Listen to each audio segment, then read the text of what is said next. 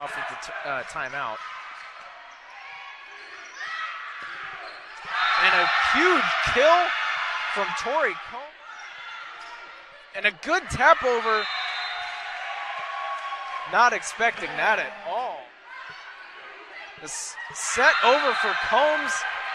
A great play. Campbell with the serve for the Statesman. Good recovery. Now get it over. Good block at the net. Tori Combs in there.